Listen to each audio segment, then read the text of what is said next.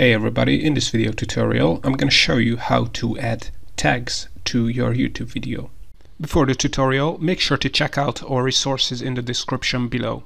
Free YouTube ebooks, customizable YouTube checklists, exclusive software deals, free trial offers for YouTubers, and many more resources that help you grow your YouTube channel, build a business on it, and make more money from it. Now, back to the tutorial.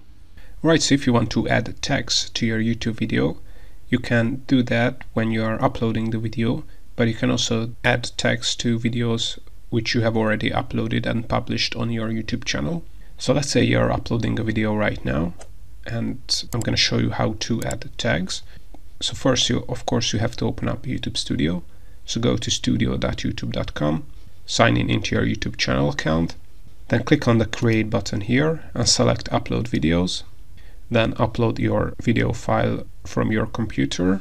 Then to add text to the video, you have to scroll down and click on show more if you don't see anything after the age restriction part. So click on show more and scroll down and here you're gonna see tags. So as you can see some tags are already added. This is because I have uh, set up uh, upload default tags that are automatically added to this video. But of course you can remove these if you don't need them. And as you can see, because I have installed this vidIQ Chrome extension, link to the vidIQ Chrome extension in the description below, vidIQ recommends some tags based on my title and the description info I have already added. But of course you don't have to accept these recommendations and you can add your own tags and all you have to do is start typing and if you have vidIQ, vidIQ will recommend certain tags but you can also add yours.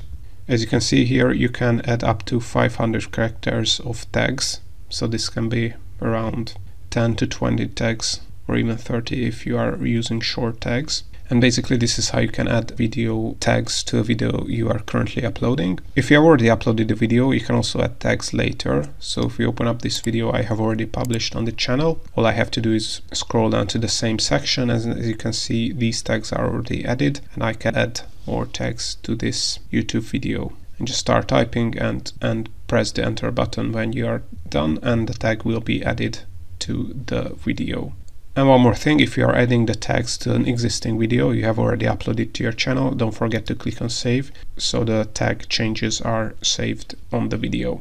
Alright, if something is still not clear to you, check out our more detailed instructional blog post on roihacks.com. Links to that in the description below.